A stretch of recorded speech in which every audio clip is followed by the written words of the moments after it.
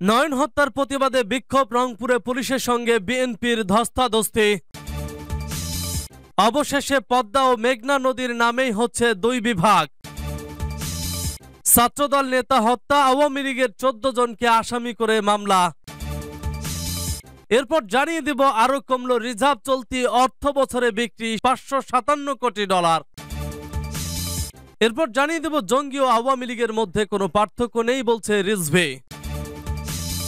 সর্বশেষে জানিয়ে দেব, রাজশাহী বিএনপির গণসমাবেশ, উনিশ মামলায় আসামি সাতশো নব্বই। শুনছিলেন সংবাদ শিরোনাম, এখন বিস্তারিত। তবে তার আগে অনুরোধ থাকবে, ভিডিওটিতে একটি লাইক এবং কমেন্টস করে জানিয়ে দিন, এই ভিডিও সম্পর্কে আপনার মূল্যবান মতামত। নয়ন হত্যার প্রতিবাদে বিক্ষোভ রংপুরে পুলিশের সঙ্গে বিএনপির ধস্তাধস্তি। ব্রাহ্মণবাড়িয়া ছাত্রদল নেতা নয়ন হত্যার প্রতিবাদে বিক্ষোভ সমাবেশ করেছে রংপুর মহানগর বিএনপি। মঙ্গলবার নগরীর গ্রাউন্ড হোটেল মোড়স্থ বিএনপি কার্যালয়ের সামনে বিক্ষোভ সমাবেশ অনুষ্ঠিত হয়। সে সময় বিএনপিকে মিছিল করতে বাধা প্রদান করলে বিএনপি নেতাকর্মী পুলিশের মাঝে ধস্তাধস্তির ঘটনা ঘটে। তবে পরিবর্তিতে পরিবেশ নিয়ন্ত্রণে আসলে তারা নেতারা বক্তব্য দেন। রংপুর মহানগর বিএনপির আহ্বায়ক শামসুজ্জামান শামু বলেন, সারা বাংলাদেশের জনগণ যখন অধিকার প্রতিষ্ঠা করার জন্য রাজপথে নেমেছে, তখন এই সরকারের পেটোয়া বাহিনী আমাদের নেতাকর্মীদের হত্যার রাজত্ব কায়েম করেছে। আজকে বাংলাদেশে যেসব আমাদের নেতাকর্মীদের গুলি করে হত্যা করা হচ্ছে, তাদের রক্তে রঞ্জিত করা হচ্ছে রাজপথ। সেই রক্তের বিনিময়ে অবশ্যই বাংলাদেশের জনগণের ভোটাধিকার আগামীতে প্রতিষ্ঠিত হবে। তিনি পুলিশের উদ্দেশ্যে বলেন, আজকের এই সমাবেশ আমরা লক্ষ্য করছি। পুলিশরা ব্যাপক উত্তেজিত। আপনারাও এই দেশের সন্তান। আপনারা জনগণের সঙ্গে থাকবেন। আপনারা যদি জনগণের সঙ্গে না থাকেন তাহলে বর্তমান প্রজন্মের কাছে আপনারা রাজাকার বনে যাবেন। রংপুর মহানগর বিএনপি সদস্য সচিব অ্যাডভোকেট মাহমুদুর নবী ডন বলেন, দেশের দ্রব্যমূল্যের লাগাম এখন এই নিশিরাতের সরকারের নিয়ন্ত্রণে নেই। আটা, চিনি, তেল সহ নিত্য পণ্যের দাম দ্বিগুণ বেড়ে গেছে। সরকারের প্রতি এখন আর জনগণের আস্থা নেই। অবশেষে পদ্মা ও মেঘনা নদীর নামেই হচ্ছে দুই বিভাগ। অবশেষে দুই নদীর নামেই হচ্ছে নতুন দুটি প্রশাসনিক বিভাগ। এর মধ্যে বৃহত্তর ফরিদপুরের কয়েকটি জেলা নিয়ে পদ্মা বিভাগ এবং কুমিল্লা ও আশপাশের জেলাগুলো নিয়ে মেঘনা বিভাগ। মন্ত্রী পরিষদ বিভাগ সূত্রে জানা গেছে, আগামী রোববার প্রশাসনিক পূর্ণবিন্যাস সংক্রান্ত জাতীয় বাস্তবায়ন কমিটির সভা রয়েছে। এই সভার আলোচ্য সময়ে নতুন দুটি বিভাগ অনুমোদনের প্রস্তাব ওঠার কথা রয়েছে। একই দিনে সচিব সভা অনুষ্ঠিত হওয়ার কথা রয়েছে। প্রধানমন্ত্রী শেখ হাসিনা সভাপতিত্বে এসব সভা অনুষ্ঠিত হবে। নতুন বিভাগ জেলা, উপজেলা, সিটি কর্পোরেশন, পৌরসভা, থানা গঠন বা স্থাপনের প্রস্তাব সরকারের প্রশাসনিক পূর্ণবিন্যাস সংক্রান্ত জাতীয় বাস্তবায়ন কমিটিতে অনুমোদিত হয়। প্রধানমন্ত্রীর নেতৃত্বে নেকারের সদস্য হিসেবে থাকেন সরকারের বেশ কয়েকজন মন্ত্রী ও সচিব। বর্তমানে দেশে আটটি প্রশাসনিক বিভাগ রয়েছে। এগুলো হলো ঢাকা, চট্টগ্রাম, রাজশাহী, খুলনা, বরিশাল, সিলেট, রংপুর ও ময়মনসিংহ।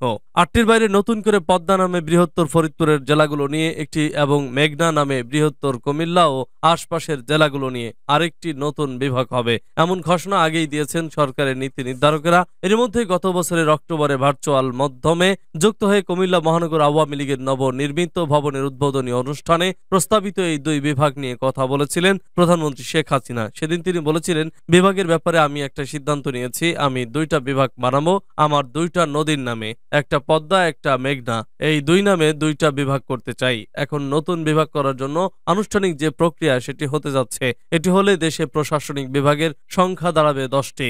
নেকারের সভার আলোচ্য সূচিতে কুষ্টিয়ার ইসলামী বিশ্ববিদ্যালয় থানাকে জাউদিয়া এলাকায় স্থানান্তর করে জাউদিয়া থানা নামকরণ এবং কাউদিয়া পুলিশ ক্যাম্পকে ইসলামী বিশ্ববিদ্যালয় ক্যাম্পাসে স্থানান্তর করে ইসলামী বিশ্ববিদ্যালয় পুলিশ ক্যাম্প হিসেবে নামকরণের প্রস্তাব ওঠার কথা রয়েছে। এছাড়া সাতক্ষীরার শ্যামনগর উপজেলায় পৌরসভা গঠন, বগুড়ার সারিয়াকান্দি উপজেলার কাজলা ও বোয়াইল ইউনিয়নের বিরোধপূর্ণ অংশ বিয়োজন করে জামালপুরের মাদারগঞ্জ উপজেলার সঙ্গে সংযোজন করে মাদারগঞ্জ উপজেলার সীমানা পুনর্গঠন এবং ময়মনসিংহের নান্দাইল পৌরসভার সীমানা সম্প্রসারণের প্রস্তাব ওঠার কথা রয়েছে নিকার আলোচ্য সূচিতে। ছাত্রদল নেতা হত্যা, আওয়ামী লীগের চোদ্দ জনকে আসামি করে মামলা। নারায়ণগঞ্জের রূপগঞ্জে ছাত্রদল নেতা অনেক হত্যার ঘটনায় চিফ জুডিশিয়াল ম্যাজিস্ট্রেট আদালতে মামলা দায়ের করা হয়েছে। মামলায় আওয়ামী লীগের চোদ্দ জন নেতাকর্মীর নাম উল্লেখ সহ অজ্ঞাত দশজনকে আসামি করা হয়েছে। মঙ্গলবার নিহত অনেকের পিতা আমির হোসেন বাদী হয়ে এ মামলা দায়ের করেন। অভিযুক্তরা হলেন ভোলতা ইউনিয়ন যুবলীগের সভাপতি মোহাম্মদ রাশেদ ভুইয়া, সাধারণ সম্পাদক মোহাম্মদ ইকবাল শিকদার, আওয়ামী লীগ নেতা বাবু ওরফে কালাই বাবু, রাসেল শাহিন, মোহাম্মদ জাহাঙ্গীর মোল্লা ওবায়দুর আলাউদ্দিন মিজান রাজীব রানা রিফাত ইমরান প্রমুখ। আরও কমল রিজার্ভ চলতি অর্থ বছরে বিক্রি পাঁচশো সাতান্ন কোটি ডলার। ডলার সংকটের কারণে দেশে বৈদেশিক মুদ্রার রিজার্ভ ধারাবাহিকভাবে কমছে। এতে চাপ পড়েছে কেন্দ্রীয় ব্যাংক।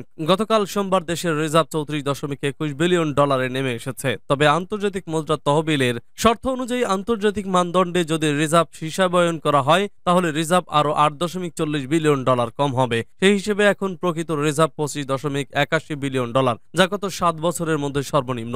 এর আগে দুই হাজার চোদ্দ পনেরো অর্থ বছরের রিজার্ভ ছিল পঁচিশ বিলিয়ন ডলার। বর্তমানে দেশে প্রতি মাসে আমদানির জন্য সাত বিলিয়ন ডলারের বেশি খরচ করেছে সরকার। অর্থাৎ এখন যে পরিমাণ রিজার্ভ আছে তা দিয়ে সাড়ে তিন মাসেরও আমদানি দায় পরিশোধ করা যাবে। যদিও রিজার্ভ সবসময় সব আমদানির ক্ষেত্রে ব্যবহার করা হয় না, আর সরকারি অতি প্রয়োজনীয় পণ্য আমদানির জন্য ডলার বিক্রি করে কেন্দ্রীয় ব্যাংক। আমদানি নিয়ন্ত্রণে বিভিন্ন পদক্ষেপ নিয়েছে কেন্দ্রীয় ব্যাংক এতে নতুন এলসি খোলা কমেছে, তবে বাকি বা দেরিতে পরিশোধের শর্তে আগের খোলা এলসির দায় এখন পরিশোধ করতে হচ্ছে। ফলে বৈদেশিক মুদ্রার ব্যয় কমেনি। যে কারণে তিন দিন ডলারের সংকট বাড়ছে। চাপে পড়েছে অর্থনীতি।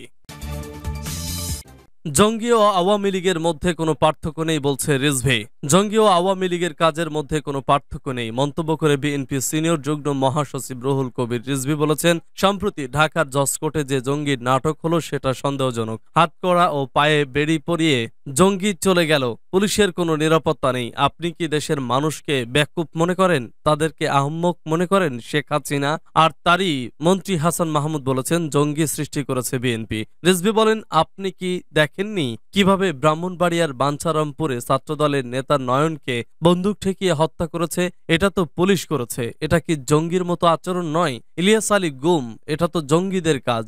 জাকির খুন, এটাও তো জঙ্গিদের কাজ। প্রকৃতপক্ষে জঙ্গিদের কাজ ও আওয়ামী সরকারের কাজের মধ্যে কোনো পার্থক্য নেই। ওরা যে জঙ্গিদের মতো কাজ করে, তার প্রমাণ ভরি ভরি। সাবেক আইজিপি শহীদুল হক তার বইয়ে লিখেছেন, আসলে তারাই জঙ্গির নাটক করে। আজ মঙ্গলবার সকালে নয়াপল্টনে বিএনপির কেন্দ্রীয় কার্যালয়ের নিচে এক অনুষ্ঠানে তিনি এসব কথা বলেন। বিএনপির ভারপ্রাপ্ত চেয়ারম্যান তারেক রহমানের আটান্নতম জন্মদিন উপলক্ষে দিনব্যাপী ফ্রি মেডিকেল ক্যাম্প ও ঔষধ বিতরণ কর্মসূচির আয়োজন করে ডক্টরস অ্যাসোসিয়েশন অফ বাংলাদেশ। সংগঠনের সভাপতি অধ্যাপক ডক্টর হারুন আল রশিদের সভাপতিতে মহাসচিব ডক্টর মোহাম্মদ আব্দুল সালামের পরিচালনায় অনুষ্ঠানে আর উপস্থিত ছিলেন বিএনপির কেন্দ্রীয় নেতা advocate Abdul Salam Azad, Mir Sharafat Ali Shafur, ড্যাবের doctor Erfanul Haque Siddiqui, doctor Mohammad Fakhruzzaman Fakhrul M ট্যাবের বিপ্লবুজ্জামান বিপ্লব দবির উদ্দিন তুষার প্রমুখ।